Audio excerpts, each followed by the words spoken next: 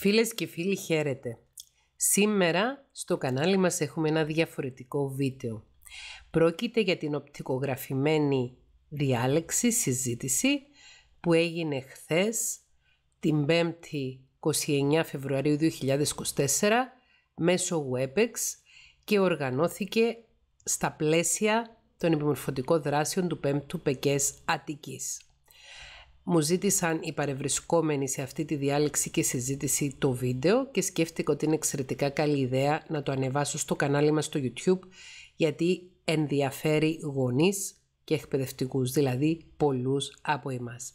Ο τίτλος της διάλεξης είναι «Σχολικός και μη εκφοβισμός, αίτια και αντιμετώπιση του bullying και της ναρκισιστικής οπτικής». Η όλη ε, παρουσίαση και συζήτηση διαρκεί περίπου δύο ώρες. Αυτό, σε αυτό το βίντεο θα παρουσιαστεί το πρώτο μέρος της παρουσίασης και θα υπάρξει και δεύτερο μέρος του βίντεο με το δεύτερο μέρος παρουσίασης και συζήτησης. Ενδεικτικά θα εξηγήσουμε τι σημαίνει bullying ή σχολικός εκφοβισμός, τα κύρια χαρακτηριστικά του σχολικού εκφοβισμού, παραδείγματα σχολικού εκφοβισμού. Θα μιλήσουμε για τους λόγους για τους οποίους οι άνθρωποι γίνονται είτε θύματα είτε θύτες και θα απαντήσω σε ερωτήσεις οι οποίες έχουν να κάνουν με το πώς μπορούμε να βοηθήσουμε τα παιδιά μας να αντιμετωπίσουν είτε το πρόβλημα του να είναι θύματα bullying είτε το πρόβλημα του να είναι θύτες bullying. Ποια είναι τα σημάδια ότι το παιδί μας μπορεί να είναι θήτης, ποια είναι τα σημάδια ότι το παιδί μας μπορεί να είναι θύμα, πώς αντιμετωπίζουμε δραστικά το φαινόμενο και πώς μπορούμε να βοηθήσουμε τα παιδιά μας σε συνεργασία οι γονείς με τους εκπαιδευτικούς ώστε να προλάβουμε αυτά που όντως προλαμβάνονται. Είναι αλήθεια, προλαμβάνεται το πρόβλημα του bullying. Φτάνει να συνεργαστούμε μεταξύ μας γονείς και εκπαιδευτικοί να ψυχοεκπαιδευτούμε, να ψυχοθεραπευόμαστε και να παρέχουμε στα παιδιά μας το δώρο της ψυχοθεραπείας. Ελπίζω να σας αρέσει και να σας φανεί χρήσιμο αυτό το βίντεο που έχουμε πάρει από τη χθεσινή διάλεξη συνάντηση που έγινε μέσω WebEx. Με χαρά στα σχόλια θα διαβάσω τις εντυπώσεις σας. Σας ευχαριστώ. Λοιπόν, πάμε να μιλήσουμε για τον bullying ή αλλιώς σχολικό εκφοβισμό. Ο σχολικός εκφοβισμός είναι ένα φαινόμενο νεανικής παραβατικότητας. Ένα είδος bullying που εμφανίζεται σε πολλές χώρες του κόσμου. Δεν θα λείπαμε η Ελλάδα ως χώρα από τις χώρες τις οποίες εμφανίζεται τον bullying. Ίσως να μην εμφανίζεται bullying σε χώρες που δεν έχουν σχολεία. Εγώ πιστεύω ότι σε όλα τα σχολεία παρατηρείται τον bullying. Ο σχολικός εκφοβισμός αναφέρεται στη χρήση βίας μεταξύ μαθητών ή συνομιλίκων παιδιών με στόχο να προκληθεί φόβος, πόνος ή αναστάτωση. Ένας άλλος ορισμός του bullying είναι ότι το bullying αποτελεί μια στοχευμένη, επιθετική και επαναλαμβανόμενη συμπεριφορά, δηλαδή είναι μια συμπεριφορά που γίνεται επίτηδες, μια συμπεριφορά που είναι επιθετική συμπεριφορά και μια συμπεριφορά που επαναλαμβάνεται στοχευμένη, επίτηδες, αυτό έχει μεγάλη σημασία, επιθετική συμπεριφορά και επαναλαμβανόμενη συμπεριφορά, η οποία έχει να κάνει με μια ανισορροπία σωματικής ή ψυχικής δύναμης. Ο νταΐς, αυτός που εκφοβίζει, ο μπούλης όπως το λένε στα αγγλικά, είναι κάποιος που είτε έχει μεγαλύτερη σωματική δύναμη, είναι πιο ψηλός, έχει πιο δυνατή σωματική διάπλαση, είτε είναι μεγαλύτερος, είτε είναι ε, πιο ανεπτυγμένος ο εγκέφαλος του λόγου ηλικίας ή ε, έχει κάποια πνευματική και διανοητική υπεροχή απέναντι στο θύμα. Ο θήτης έχει πάντα κάποια υπεροχή, είτε σωματική, είτε ψυχική, είτε διανοητική υπεροχή. Στην ουσία, το bullying είναι μια μορφή κακοποίησης ανάμεσα σε μαθητές. Μιλάμε για κακοποίηση. Η λέξη bullying σημαίνει κακοποίηση. Η λέξη σχολικός εκφοβισμός σημαίνει κακοποίηση. Γι' αυτό δεν μου αρέσει τόσο πολύ η μετάφραση του όρου εκφοβισμός, γιατί εμπεριέχει πολύ περισσότερο το κομμάτι του ότι κάνω τον άλλον να φοβάται, ενώ στην ουσία το bullying έχει να κάνει με κακοποίηση. Ένα παιδί που δέχεται bullying δέχεται κακοποίηση. Ποια είναι τα κύρια χαρακτηριστικά του σχολικού εκφοβισμού ή του bullying, είναι τέσσερα. Σε αυτή τη σελίδα, νομίζω έχω περισσότερο. Ω, οκ, τέσσερα είναι. Ένα λεπτό. Είναι τέσσερα. Το πρώτο είναι η πρόθεση. Το παιδί που είναι δράστης έχει πρόθεση να βλάψει ή να κάνει ζημιά στο παιδί στόχο. Στοχευμένη συμπεριφορά είπαμε. Υπάρχει πρόθεση. Υπάρχει έλλειψη δικαιολογίας για την πράξη. Δεν είναι μια αντίδραση των bullying σε κάτι που έχει κάνει το θύμα. Δεν υπάρχει δικαιολογία για την πράξη του θήτη. Είναι δηλαδή τρόποντινά απρόκλητη η πράξη. Είναι μια συμπεριφορά η οποία επαναλαμβάνεται, υπάρχει επανάληψη αυτής της συμπεριφοράς. Και το τέταρτο χαρακτηριστικό είναι η σαδιστική ικανοποίηση που αντλεί ο δράστης από τη βλάβη που προκαλεί στο θύμα. Άρα έχουμε την πρόθεση, γίνεται επίτηδες, το γεγονός ότι δεν υπάρχει δικαιολογία, ότι γίνεται απρόκλητα, δεν είναι μια αντίδραση, για παράδειγμα, σε μια επιθετική συμπεριφορά κάποιου άλλου παιδιού. Είναι συμπεριφορά που επαναλαμβάνεται, είναι επαναλαμβανόμενη η επανάληψη και η ικανοποίηση που αντλεί ο δράστης από τη βλάβη του θύματος. Η σαδιστική ικανοποίηση. Σαδισμός σημαίνει να ευχαριστιέμαι, να προκαλώ πόνο και ταλαιπωρία σε άλλους ανθρώπους. Άρα πρόθεση, μη πρόκληση, επανάληψη και ικανοποίηση. Να πούμε κάποια παραδείγματα τώρα bullying ή σχολικού εκφοβισμού. Σωματική βία. Ξύλο, γροθιές, σωματική επίθεση. Η σωματική βία είναι η πιο εύκολα αναγνωρίσιμη μορφή βίας. Είναι πολύ εύκολο να καταλάβουμε ότι υπάρχει σωματική βία, γιατί το ένα παιδί χτυπάει το άλλο, το ένα παιδί γρονθοκοπάει το άλλο, το ένα παιδί επιτίθεται σωματικά στο άλλο. Ή μια ομάδα παιδιών σε ένα παιδί.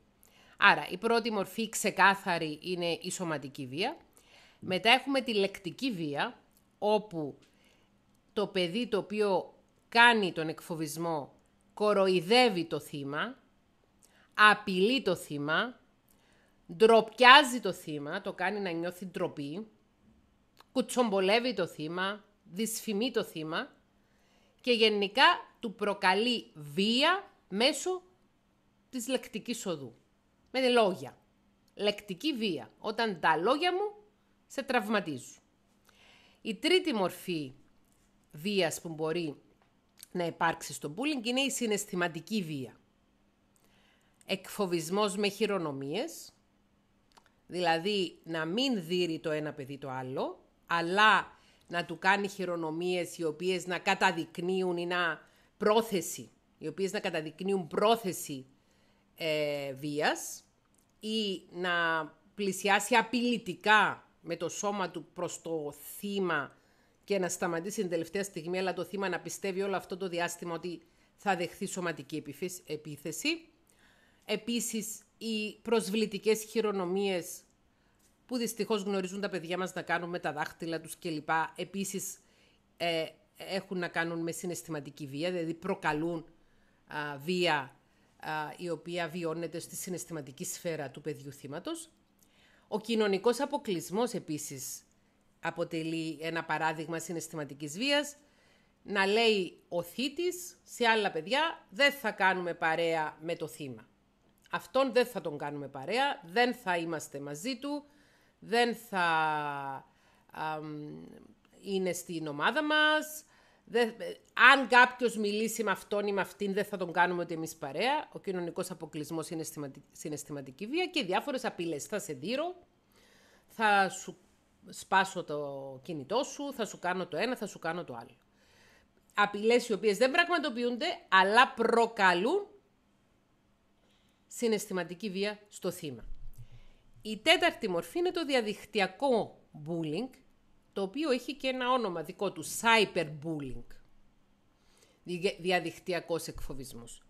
Εκεί στα social media μπορεί να στέλνει ο θήτης στο θύμα μηνύματα μίσους, άπειλες, μπορεί ο θήτης να φτιάχνει ένα ψεύτικο προφίλ με το όνομα του θύματος και τις φωτογραφίες του θύματος και να εκθέτει στη διαδικτυακή σφαίρα το θύμα, να να βγάζει, να δημοσιεύει φωτογραφίες ή βίντεο από την προσωπική ζωή του θύματος χωρίς τη θέλησή του. Άρα, μιλάμε για σωματική βία, λεκτική βία, συναισθηματική βία. Πάμε στο διαδικτυακό, διαδικτυακή βία cyberbullying και ένα άλλο παράδειγμα είναι τα καψόνια. Γνωρίζετε όλοι τα καψόνια που γίνονταν, θέλω να πιστεύω γίνονταν, ίσως γίνονται ακόμη στο στρατό, όταν κάποιος καινούριος εισαχθεί στο στρατό, ε, είναι νεοσύλλεκτος, έτσι, αυτό τον όρο ονομάζουμε στην Κύπρο, είναι νεοκαταταγής, ε, ήθιστε να περνάει από μια τελετουργική διαδικασία των καψονιών. Καψόνια γίνονται και στα σχολεία. Και τα καψόνια αποτελούν bullying. Λοιπόν, είπαμε ότι υπάρχουν αυτές οι μορφές ε, bullying, η σωματική βία, η ελεκτική βία, η συναισθηματική, η διαδικτυακή και τα καψόνια. Όμως, το bullying ή σχολικός εκφοβισμός συνιστά πρωτίστως ψυχική κακοποίηση. Πρωτίστως.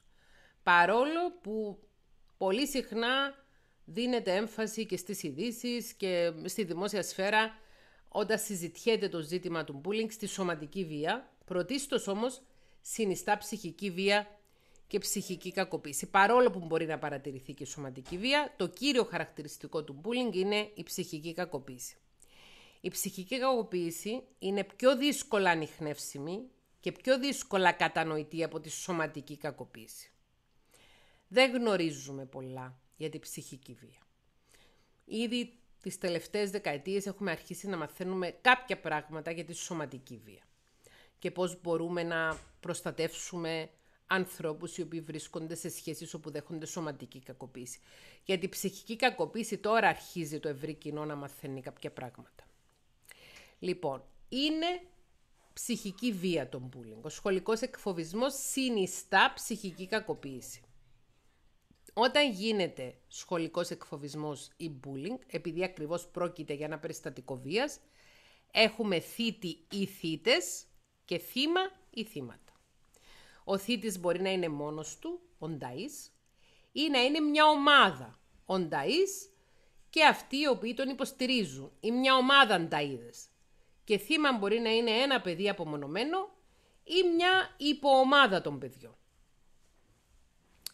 Επειδή μιλάμε για παιδιά σε σχολική ηλικία, ακόμη δεν μπορούμε να μιλήσουμε με έτσι πολύ αυστηρούς όρους για αυτά τα παιδιά και να πούμε ότι αυτά τα παιδιά έχουν αυτό τον τύπο προσωπικότητας. Όσοι και όσες παρακολουθείτε τα βίντεο στο κανάλι μου στο YouTube θα γνωρίζετε ότι πολύ συχνά μιλάω για τους τύπους προσωπικότητας, τους προβληματικούς, προβληματική τύπη προσωπικότητας ή εναντιωματική τύπη προσωπικότητας, που είναι ο πιο επικρατής προβληματικός τύπος προσωπικότητας είναι ο ναρκισιστικός τύπος προσωπικότητας.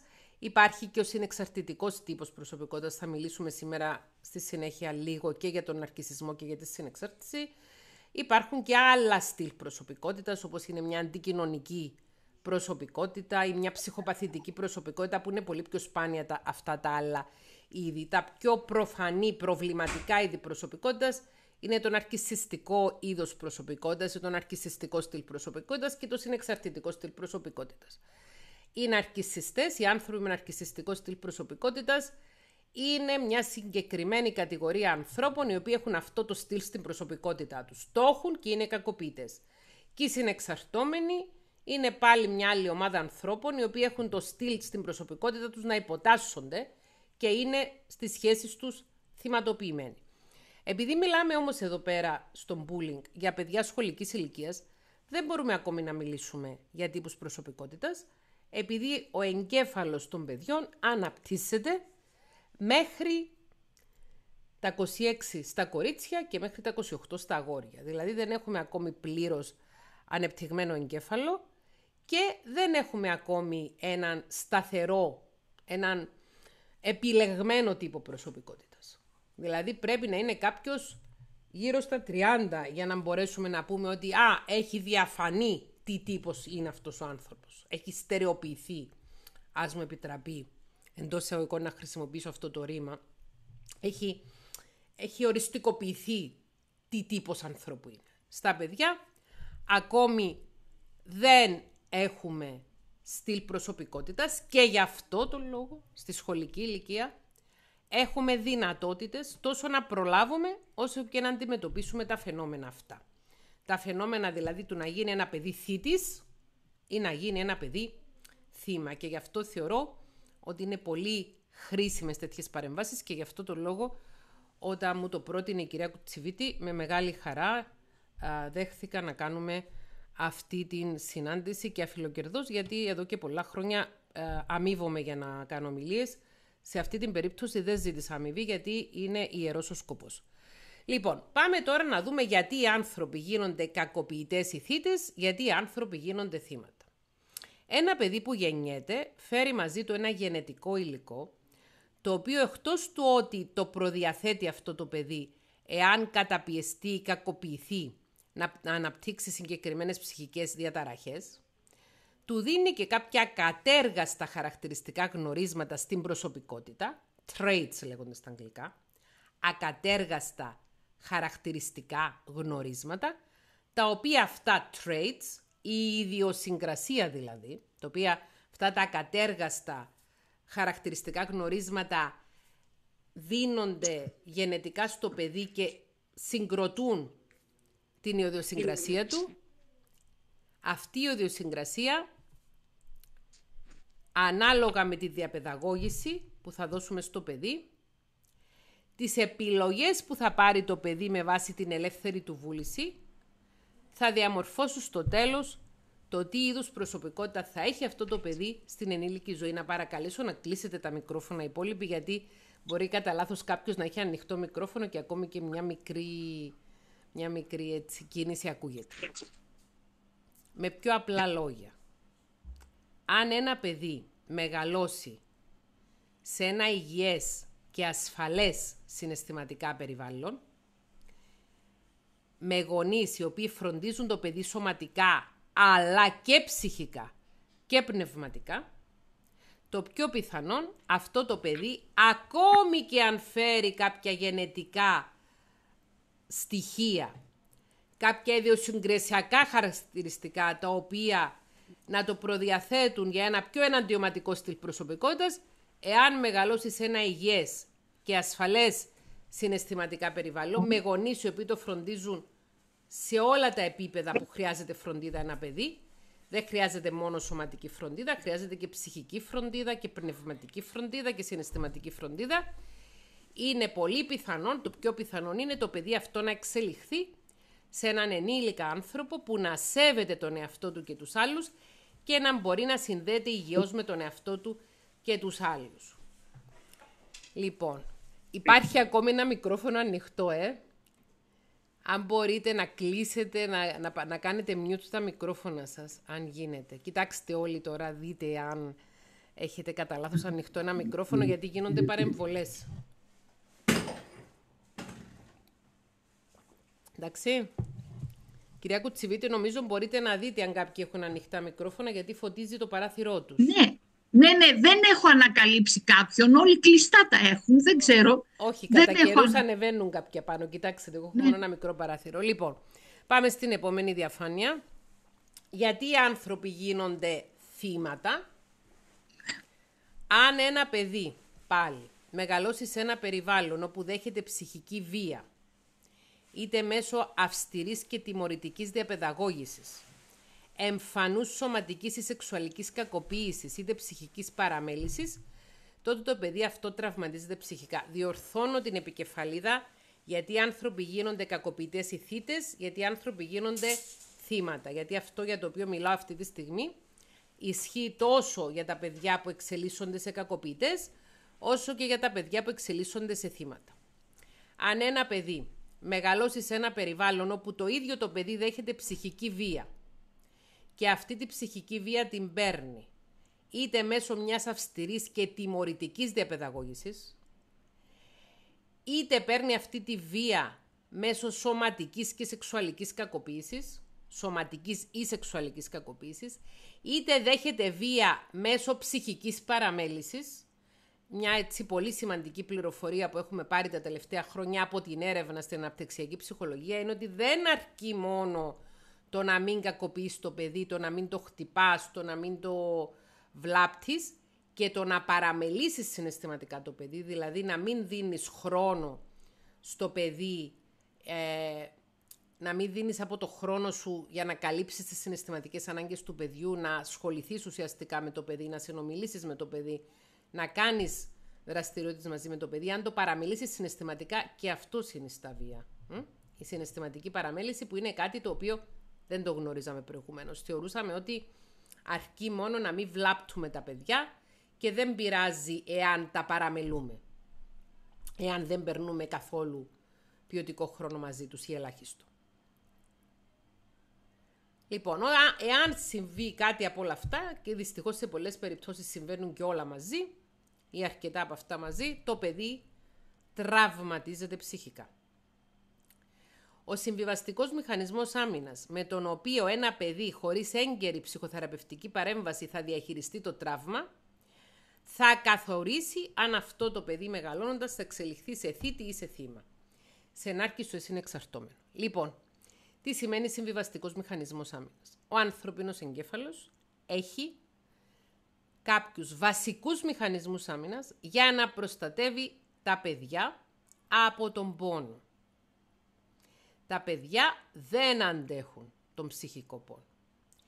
Και έτσι το υποσυνείδητο μυαλό των παιδιών βάζει σε λειτουργία κάποιους βασικούς μηχανισμούς άμυνας, ούτως ώστε το παιδί να μην βιώσει για εκτεταμένο χρονικό διάστημα τον πόνο. Δηλαδή μόλις ένα παιδί νιώσει άβολα, νιώσει ψυχικό πόνο, τότε θα χρησιμοποιήσει ένα μηχανισμό άμυνας. Με βάση τη δουλειά του Pete Walker, ο οποίος είναι ένας ψυχολόγος Αμερικανός που έχει κάνει εξαιρετική δουλειά πάνω στη σύνθετη διαταραχή μετατραυματικού στρες, υπάρχουν τέσσερις βασικοί μηχανισμοί άμυνας που μπορεί να χρησιμοποιήσει ένα παιδί όταν τραυματίζεται ψυχικά, τους οποίους ονομάζει ως τα 4F, γιατί και, αυτοί, και οι τέσσερις αυτοί μηχανισμοί άμυνας ε, είναι στην αγγλική γλώσσα με λέξεις που ξεκινάνε από το F. Fight, fight flight, freeze, fawn. Πάλι η φυγή. Θα έχετε ακούσει περισσότερο, όσοι είστε εκπαιδευτικοί σίγουρα έχετε ακούσει, για τη θεωρία της πάλης ή φυγής, που είναι η βασική θεωρία για το στρες. Λέει ότι αν ένας άνθρωπος νιώσει απειλή, μπορεί είτε μέσω του στρες να πάρει φτερά στα πόδια του και να τρέξει να σωθεί, είτε να ενδυναμωθεί σωματικά ώστε να παλέψει. Ο, ο μηχανισμός άμυνας της πάλης σημαίνει ένα παιδί όταν τραυματίζεται ψυχικά να αντεπιτίθεται. Ο μηχανισμός άμυνας της φυγής σημαίνει να φεύγει από εκείνο το περιβάλλον. Ο μηχανισμός άμυνας του παγώματος του freeze σημαίνει να παγώνει, να μην αντιδρά και να αποθεί το τραυματικό γεγονός.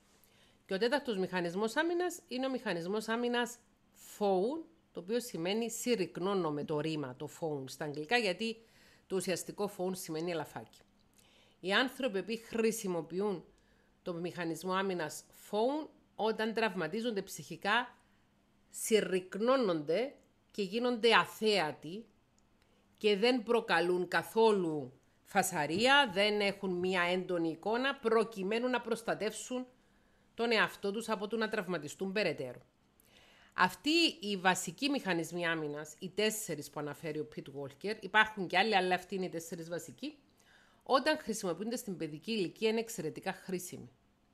Αυτοί οι μηχανισμοί άμυνας έχουν βοηθήσει παιδιά να βγουν μέσα από πολύ φρικτές οικογενειακές καταστάσεις με μεσόαστα φρένα. Εάν όμως ένα παιδί το οποίο τραυματίζεται ψυχικά δεν δεχθεί έγκαιρη ψυχοθεραπευτική παρέμβαση, δεν κάνει εγκαίρος ψυχοθεραπεία, θα συνεχίσει να χρησιμοποιεί αυτούς τους μηχανισμούς άμυνας τους πρωτόγονους, θα συνεχίσει να τους χρησιμοποιεί SAE και επειδή πρόκειται για μηχανισμούς άμυνας οι οποίοι είναι χρήσιμοι σε περιπτώσεις κινδύνου, αν χρησιμοποιούνται για μεγάλα χρονικά διαστήματα, συμβιβάζουν τη λειτουργικότητα του ανθρώπου. Γι' αυτό λέγονται συμβιβαστικοί μηχανισμοί άμυνας. Γιατί είναι χρήσιμο την ώρα που θα δεχθείς ένα ψυχικό τραυματισμό να παγώσεις. Εάν όμως λειτουργείς παγωμένα και αποστουσιοποιημένα σε όλη σου τη ζωή, τότε έχεις πρόβλημα με την προσωπικότητα σου, με τη συνδεσιμότητα σου με τους άλλους ανθρώπους και το καθεξής. Ο συμβιβαστικός μηχανισμός άμυνας που θα χρησιμοποιήσει ένα παιδί που τραυματίζεται ψυχικά και ο οποίος δεν θα σταματήσει να είναι σε λειτουργία επειδή αυτό το παιδί δεν θα δεχθεί ψυχοθεραπεία, δεν θα θεραπεύσει το τραύμα, θα καθορίσει αν αυτό το παιδί μεγαλώνοντας θα εξελιχθεί σε θήτη ή θύμα. Ο μηχανισμός της πάλης, το fight, είναι ένας μηχανισμός άμυνας, ο οποίος εάν γίνει κύριος τρόπος λειτουργίας, θα δημιουργήσει έναν άνθρωπο με έναν αντιωματικό στυλ προσωπικότητας, έναν άνθρωπο επιθετικό, έναν αρκισιστή. Ο μηχανισμός της φυγής μπορεί να, χρησιμο... να χρησιμεύσει πάλι ως ένας μηχανισμός άμυνας συμβιβαστικός αν γίνεται τρόπος λειτουργίας και τρόπος ζωής, η οποία, ο οποίος πάλι να έχει ως αποτέλεσμα να έχουμε έναν άνθρωπο με ένα στυλ προσωπικότητας αποφευκτικό, το οποίο μέσω της ψυχικής παραμέλησης να είναι κακοποιητικό. Ο μηχανισμός άμυνας freeze, που σημαίνει παγώνω, εάν γίνει τρόπος ζωής και είναι ένας συμβαστικός μηχανισμός άμυνας, θα έχει ως αποτέλεσμα ο άνθρωπος που συνεχώς λειτουργεί παγωμένα να γίνει ένας άνθρωπος θυματοποιημένος και που εύκολα θα συνεξαρτηθεί. Και οπωσδήποτε ο βασικός μηχανισμός άμυνας, ο οποίος εάν χρησιμοποιείται σαν τρόπος ζωής προκαλεί τη συνεξάρτηση, είναι το phone, η συρρήκνωση. Οι συνεξαρτώμενοι άνθρωποι ε, μπορούν να περιγραφούν και ως άνθρωποι οι οποίοι έχουν μια συρρήκνωμένη προσωπικότητα και ετεροπροσδιορίζονται. Πάμε στην επόμενη... Ε, ε συγγνώμη ναι. κυρία Πετρίδου, με ναι. συγχωρείτε. Ε, κάνω εδώ τη διακοπή, αν και είναι πραγματικά εδώ είναι πολύ ουσιαστικό αυτό που λέτε και βεβαίως θα οδηγηθούμε στον Άρκισο γιατί έχει έρθει και ο κύριος Μαρίνος, ο οποίος είναι ο διευθυντής όλης μας της περιοχής, της Ανατολικής Αττικής και θα ήθελε να απευθύνει ένα μικρό χαιρετισμό και να σας καλωσορίσει. Ε, περιμένει αρκετή ώρα. Ε, όχι, Χρυσάνθη μου, δεν, δεν ζήτησα το λόγο. Δεν χρειάζεται. Μετά, μόλις τελειώσει αυτή την... Α, εντάξει, εντάξει.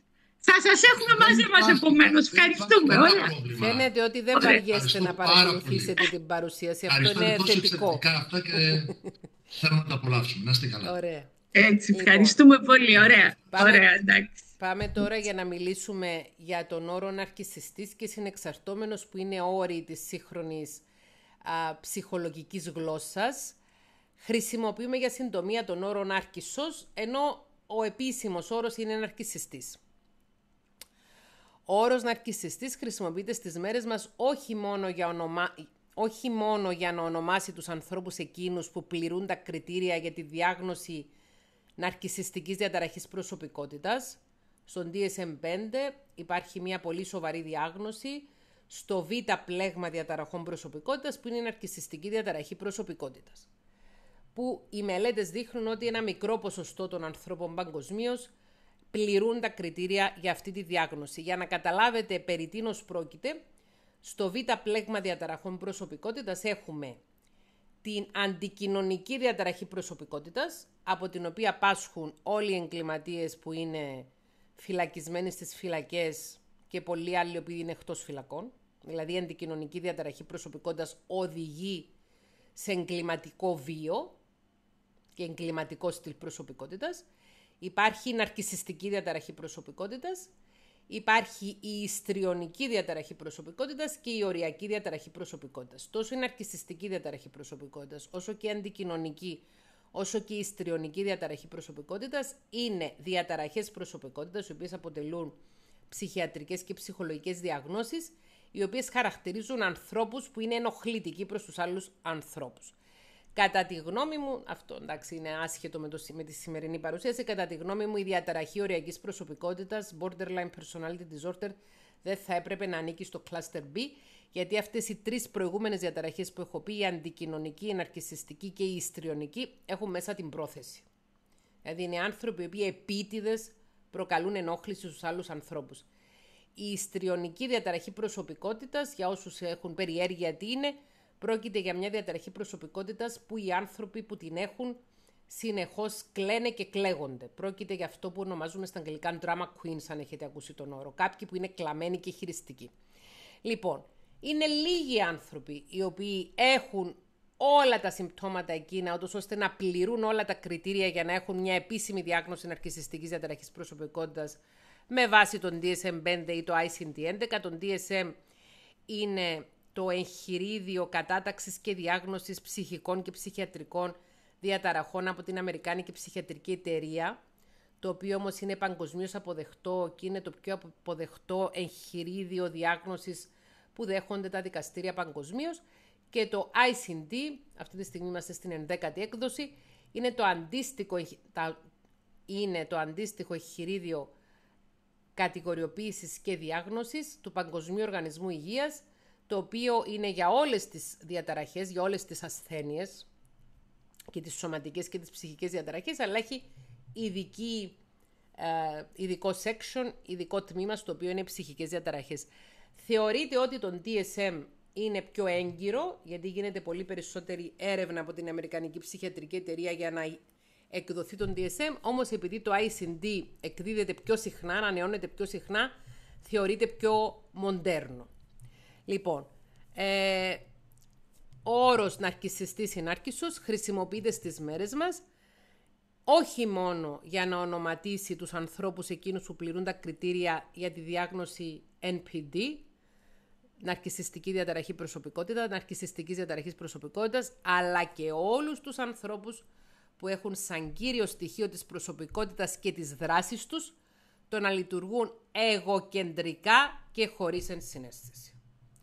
Τους ανθρώπους εκείνους που υποδουλώνουν τους άλλους γύρω τους, τους συντρόφους τους, τα παιδιά τους, τους υφιστάμενους τους, τους προϊστάμενους τους ακόμη, τους συναδέλφους τους και γενικότερα όποιον βρεθεί στο δρόμο τους. Οι ναρκισιστές, είτε μεγαλομανείς ναρκισιστές, είτε ευάλωτοι ναρκισιστές, είτε φανεροί ναρκισιστές είτε και καλυμμένοι. Υπάρχουν διάφοροι τύποι ναρκισιστών, δηλαδή δεν έχουν όλοι την ίδια συμπεριφορά, έχουν όλοι τα ίδια κίνητρα και παρόμοιο τρόπο, τρόπο δράσης και λειτουργίας. Κάποιοι όμως είναι πιο φανταχτεροί ναρκισιστές, όπως οι μεγαλομανείς ναρκισιστές ή οι κακοήθεις ναρκισιστές και είναι πιο εύκολο να τους καταλάβεις. Κάποιοι είναι πιο και καλυμμένοι, όπως οι ευάλωτοι ναρκισιστές, οι κοινοτικοί ναρκισιστές και ούτω καθεξής. Αν θέλετε, μετά με ρωτάτε περισσότερες πληροφορίες για να σας δώσω. Στο κανάλι μου στο YouTube υπάρχουν ε, λίστες πολλές και χιλιάδες βίντεο, κυριολεκτικά χιλιάδες βίντεο που μιλούν για τον ναρκισισμό. Λοιπόν, οι ναρκισιστέ είναι άνθρωποι που κύριο μέλημα και στόχο έχουν να επιτύχουν τα εγωκεντρικά τους συμφέροντα, χρησιμοποιώντας τους άλλους ανθρώπους σαν εργαλεία και μέσα διαχείρισης των δικών τους αρνητικών συναισθημάτων. Χρησιμοποιούν τους άλλους σαν αποδιοπομπαίους τράγους, σαν καλάθους σκουπιδιών, για να πετάνε τα αρνητικά τους συναισθήματα, τα οποία δεν τα αντέχουν, και επίσης φορτώνουν τους άλλους με δικές τους ευθύνες και υποχρεώσεις. Σας θυμίζει τίποτα αυτό; Μήπως έναν προϊστάμενο που σας είχε ψήσει το ψάρι στα χείλη; ή έναν πρώην σύντροφο που σας τράγγισε συναισθηματικά και μετά σας πέταξε στα στημένη με λεμονόκουπα; Ή ένα γονιό που έβγαζε όλα τα νεύρα του επάνω σας; Ελπίζω πως όχι, αλλά δυστυχώς οι ναρκισιστές βρίσκονται παντού γύρω μας και η εποχή που ζούμε η ληστική ευνοεί τον πολλαπλασιασμό τους. Ζούμε σε μια εποχή στην οποία είναι in, είναι στη μόδα, προβάλλεται παντού ένας ναρκισιστικός τρόπος ζωής και δράσης ως ιδανικός. Για να μην πω περισσότερα, σκεφτείτε πώς λειτουργήσαν οι άνθρωποι στην εξουσία τον τελευταίο χρόνο σε σχέση με τη χθεσινή ε, πολύ άσχημη επέτειο των τεμπών. Αν κάποιος παρακολουθήσει τις δηλώσεις των ανθρώπων που βρίσκονται στην εξουσία ή που βρίσκονται ακόμη στην εξουσία, το πώς διαχειρίστηκαν οι άνθρωποι οι οποίοι ίσως εάν είμαστε σε μια άλλη εποχή που να μην ευνοούνταν ο ναρκισισμός και ο εγωκεντρισμός ως τρόπος επικρατής ζωής και δράσης, θα μπορούσε δηλαδή αυτοί οι άνθρωποι να αναλάβουν ευθύνη. Βλέπουμε όμως αυτό το στοιχείο του δεν αναλαμβάνουν ευθύνη, λέω λόγια τα οποία μπορεί να ακούγονται έβυχα στα αυτιά, αλλά στην ουσία δεν παίρνω δράση και ούτω καθεξής. Θα έλεγα ότι υπάρχουν και μελέτες ότι το μεγαλύτερο μέρος, η συντριπτική πλειοψηφία των ανθρώπων που ασχολούνται επαγγελματικά με την πολιτική έχουν αρχισιστικό στυλ προσωπικότητας. Και όχι μόνο. Και όχι μόνο. Ε, υπάρχουν και κάποια άλλα στοιχεία ότι άνθρωποι οι οποίοι επιδιώκουν να έχουν ηγετικές θέσεις είναι πιο πιθανό να έχουν αρχισιστικό στυλ προσωπικότητας, χωρίς να σημαίνει όμως ότι όποιος βρίσκεται σε θέση ηγεσίας είναι απαραίτητος να αρχισιστή, γιατί όπως είπα και προηγουμένως, υπάρχουν και περιπτώσεις στις οποίες ένα αφεντικό εντός εισαγωγικών μπορεί να είναι πολύ ε, χαμηλών τόνων άνθρωπος, να είναι ένας άνθρωπος καθόλου εναντιωματικός και να έχει έναν υφιστάμενο ο οποίος να είναι ναρκισιστής και να κακοποιεί ο υφιστάμενος τον προϊστάμενο. Δεν είναι απαραίτητο δηλαδή ότι η κακοποίηση γίνεται από κάτω προς τα πάνω, μπορεί να γίνεται και από πάνω προς τα κάτω και μας ενδιαφέρει εδώ πέρα είτε είμαστε ως γονείς είτε ως εκπαιδευτικοί ότι δυστυχώς και παιδιά μπορεί να κακοποιούν γονείς και μαθητές να κακοποιούν εκπαιδευτικούς. Συμβαίνει και αυτό. Λοιπόν, πάμε στον επόμενο όρο. Τι σημαίνει ο όρος συνεξαρτώμενος; Ο όρος συνεξαρτώμενος είναι ένας όρος που προέκυψε από το έργο των ομάδων αυτοβοήθειας 12 βημάτων, τις οποίες γνωρίζουμε ως AA, η ανώνυμη αλκοολική, η πιο γνωστή ε, διακλάδωση των, των ομάδων αυτοβοήθειας 12 βημάτων. Και ο όρος συνεξαρτώμενος περιγράφει έναν άνθρωπο ο οποίος ως συμβιβαστική άμυνα στα τραύματα που δέχθηκε στην παιδική του αλικία αναπτύσσει έναν τρόπο συνδεσιμότητας που τον καθιστά θύμα του οποιοδήποτε νάρκης σου βρεθεί στο δρόμο του. Οι συνεξαρτώμενοι άνθρωποι νιώθουν πως αποκτούν αξία και νόημα στη ζωή τους μόνο όταν είναι χρήσιμοι ή υπηρετούν τους άλλους. Οι συνεξαρτώμενοι ονομάζονται και people pleasers. People pleasers στα αγγλικά, στα ελληνικά σημαίνει αυτός που έχει ως το κύριο στόχο της ζωής του να ευχαριστεί τους άλλους ή έχει υπερβολική ενσυναίσθηση, ονομάζονται empaths στα αγγλικά, οι άνθρωποι με υπερβολική ενσυναίσθηση. Ενσυναίσθηση σημαίνει ε, να μπορώ να καταλαβαίνω πώς μπορεί να νιώθει ο άλλος. Υπερβολική ενσυναίσθηση σημαίνει να με νοιάζει μόνο τι νιώθει ο άλλος και να μην με νοιάζει καθόλου τι νιώθω εγώ. Οι συνεξαρτώμενοι, είπαμε ότι ε, έχουν μία στάση ζωής η οποία είναι εκ διαμέτρου αντίθετη αντίδραση ή συμβιβαστικός μηχανισμός αμήνας που εξηγήσαμε τι είναι, στο αδιαχείριστο τραύμα μιας ελληματικής παιδικής ηλικίας και διαπαιδαγώγησης. Ο νάρκισσος ή ο ναρκισσιστής αντιδρά στο αδιαχείριστο τραύμα με το να γίνει ένας ακόμη μεγαλύτερος κακοποιητής και ο συνεξαρτώμενος με το να γίνει ένα ακόμη πιο πρόθυμο και ευάλωτο θύμα. Γιατί σας εξηγώ τι σημαίνει ναρκισιστής και τι σημαίνει συνεξαρτώμενος; Γιατί εάν έχουμε να κάνουμε με bullying στην ενήλικη ζωή, για παράδειγμα το bullying στην εργασία ονομάζεται mobbing, δεν ξέρω αν το γνωρίζατε. Mobbing είναι ένας όρος που μεταφράζεται στα ελληνικά εργασιακός εκφοβισμός, εργασιακή παρενόχληση. Θεωρώ ότι το mobbing είναι πιο, πάλι είναι καλύτερος όρος από ότι είναι το bullying. Ε, Εάν έχουμε να κάνουμε με ενήλικες, τότε μιλάμε για τους ναρκιστέ οι οποίοι είναι θύτες mobbing και τους συνεξαρτώμενους που είναι θύματα mobbing. Πάμε στην επόμενη διαφάνεια. Η θεώρηση αυτών των δυναμικών των διαπροσωπικών σχέσεων για τον ναρκισισμό και τη συνεξάρτηση ως στυλ προσωπικότητας είναι σχετικά πρόσφατη στη ψυχολογία και έχει, θα έλεγα, ψυχοδυναμικές και συστημικές ρίζες στην κατασκευή της η παιδική ηλικία και ο τρόπος με τον οποίο μεγαλώσαμε, καθώς και η δική μας αντίδραση άμυνα στο ότι βιώσαμε, διαμορφώνει τη ψυχική και σχεσιακή πραγματικότητα μας στο παρόν. Να σας το πω έτσι με πιο απλά λόγια, τα τελευταία χρόνια έχουμε αρχίσει οι ψυχολόγοι να αντιλαμβανόμαστε ότι ο ναρκισισμός δεν είναι κάτι που αφορά μόνο μια μικρή μερίδα ανθρώπων, ένα 5-10% που θα μπορούσαν να διαγνωστούμε ναρκισιστική διαταραχή προσωπικότητας, αφορά πολύ μεγαλύτερο μέρος του πληθυσμού και έτσι μιλάμε για ναρκισιστικός στυλ προσωπικότητας. Και επίσης ότι οι άνθρωποι οι οποίοι είναι ευάλωτοι ψυχικά και συναισθηματικά και εύκολα γίνονται θύματα των άλλων πάλι είναι πολλοί και πάλι χρειάζεται να γνωρίζουμε πώς λειτουργούν αυτοί οι άνθρωποι και να χρησιμοποιούμε εργαλεία και να τους δίνουμε εργαλεία για να μπορέσουν να ενδυναμωθούν και να βγουν από αυτή τη συνθήκη στην οποία πρόθυμα γίνονται ευάλωτα θύματα. Σε αυτό το σημείο τελειώνει το πρώτο μέρος της παρουσίασης. Ακολουθεί το δεύτερο μέρος όπου έχω απαντήσει σε συγκεκριμένες ερωτήσεις που στάληκαν προτού ξεκινήσει η διάλεξη και το βίντεο αυτό θα ανέβει αμέσως μετά.